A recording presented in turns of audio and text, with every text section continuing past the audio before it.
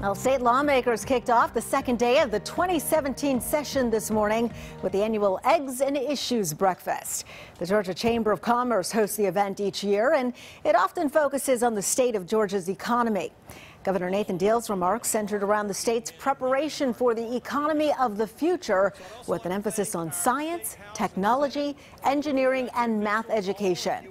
He also shared news that the U.S. Army has broken ground on a new Cyber Command headquarters at Fort Gordon in Augusta. It speaks volumes that Georgia will be the home to this center of innovation and cyber defense. This will be yet another star in our expanding constellation, constellation of excellence.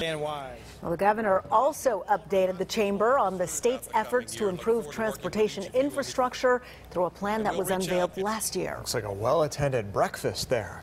Well,